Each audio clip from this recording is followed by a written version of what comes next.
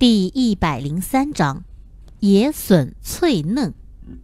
梅子就高兴地问道：“菊花，你觉得这蛇是红烧嘞，还是跟黄鳝似的炒嘞？”菊花笑眯眯地说道：“这蛇呀，要是你们能再逮一只野鸡就好了，跟这蛇一锅炖汤，就叫龙凤汤。”刘小妹道。这也不难，这春天里可是野鸡下蛋的时候，没准呀就碰见一只下蛋的鸡嘞，大家都围上去，说不定就逮着了。兰子扑哧一声笑道：“你说的也忒便宜了吧？就是在家逮鸡也没那么便宜的，你当那鸡站在那里等你去逮嘞。”尽管这么说，菊花的提议还是让大家提起了兴趣。小妹使劲儿的把舌头都打烂了，才敢用草将它捆了起来，丢进麻袋。然后众人一边找笋一边找鸡，瞧得菊花一阵好笑。到底是人小力薄，虽然收获颇丰，可是拖着半麻袋的竹笋在灌木丛中穿梭，那也是累得菊花气喘吁吁，额头上的汗水直往下流，把面巾都打湿了，贴在脸上难受的很。可是他越不敢解开它，在这树丛中那些荆棘刺绒多得很，戴着面巾好歹能挡住点儿。他瞧着小燕用映山红的花枝编了个花环套在头上，不自禁地笑了起来。这实在是个爱美的小女娃。周矮子的闺女儿小秀和小翠是文静腼腆的，干起活来倒也不含糊。他俩掰了不少笋子，因为用篮子装着，挎在胳膊上也是不好走路，不停地用手将灌木枝条拨到一旁。那些带刺的荆棘把头发也扯得一团糟。菊花见了，摸摸头上。也是乱糟糟的，瞧瞧日头，对着梅子他们喊道：“哎，咱们是不是该回去了？天也不早了嘞，你们肚子不饿吗？主要是再掰下去也背不动了。”兰子忙叫住两妹妹，并对梅子和刘小妹道：“回吧，差不多了嘞，再掰就搬不动了。咱们往那边走，我记得那边有一棵香椿树，采些家去拌了吃。”菊花听了大喜，忙问道：“真的有香椿树？”我咋没听我娘说过嘞？兰子笑道：“ 那我就不晓得了。往年我爹呀都会采些回去的。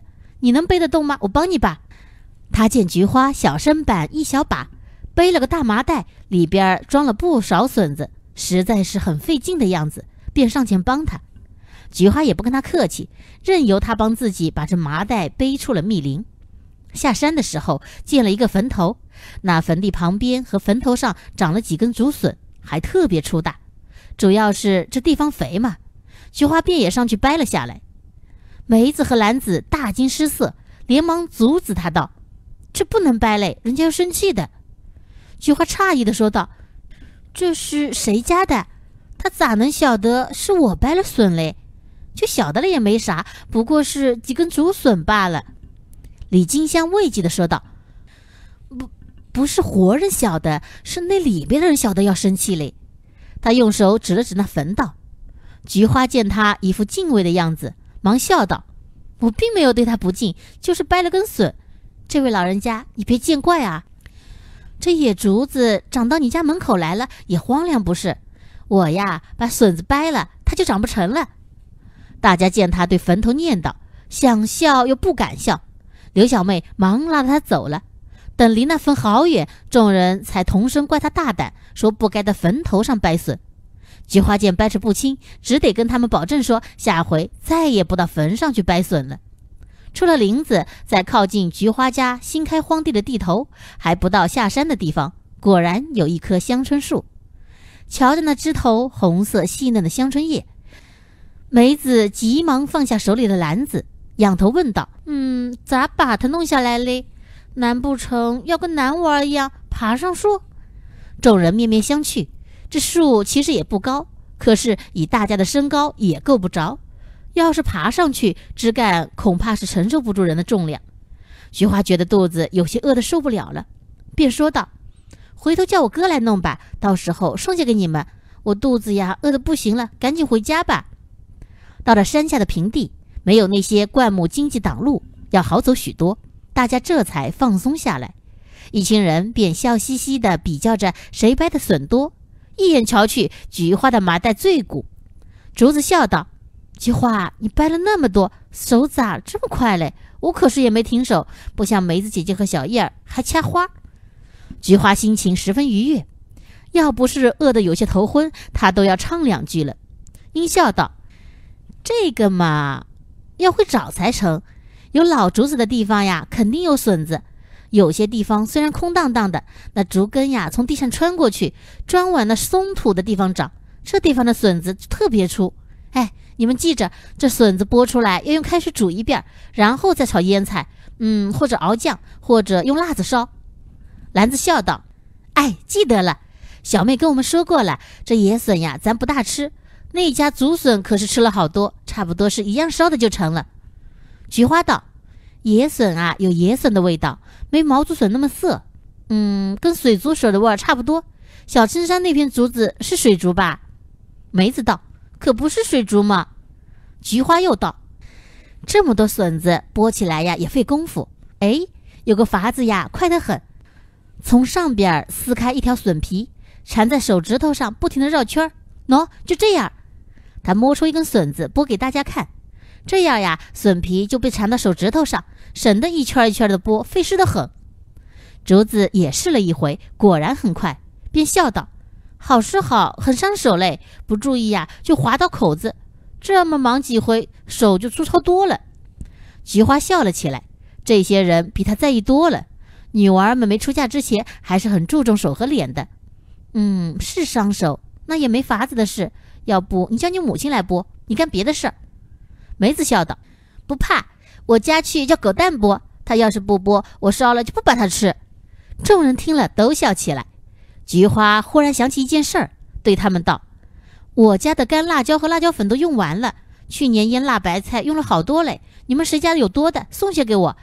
嗯，今年要多晒些干辣椒才好。”梅子、兰子、刘小妹几人同时出声道：“这有啥？要是旁的东西啊，咱还不一定有。这东西有不少。”遂表示回家一人送一些回来。梅子还说要再送一些辣椒片送给他。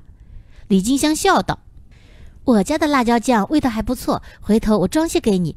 这离辣椒上市还早，家里没辣椒烧菜哪成呢？菊花连声谢了。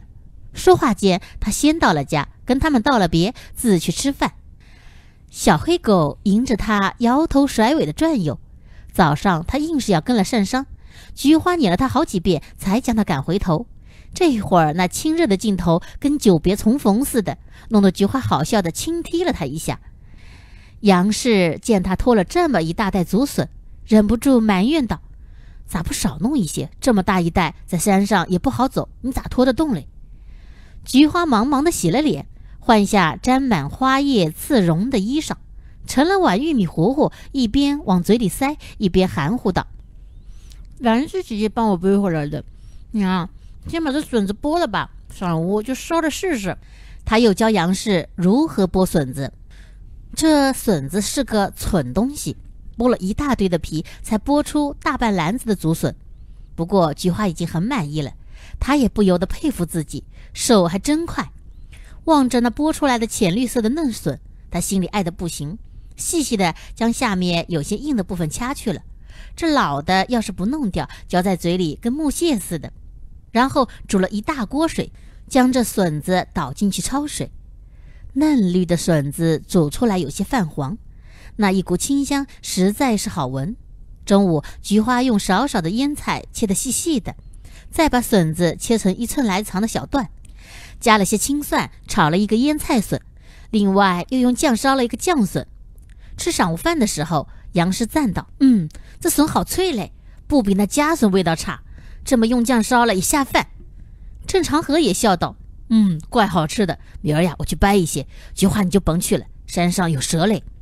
提到蛇，菊花哎呦的叫了一声，笑道：“今儿呀，小妹跟兰子姐姐打死了一条蛇，带回来了，我都忘了这事儿。哦，还有哥，你从咱家荒地那里上山，那儿有一棵香椿树，采些香椿芽回来，炒鸡蛋吃，香得很，凉拌了也好吃。我们去了那儿都够不着，爬树又怕摔下来。”杨氏一听真的遇见了蛇，忙紧张地问菊花是咋回事。青木也停下筷子，望着菊花。菊花安慰他们说：“不是自己遇见的，是金香遇见的。”又佩服地说道：“兰子姐姐和小妹太厉害了，也不躲，硬是把那蛇给打死了。好大一条蛇嘞，怕是有两斤重，这么粗。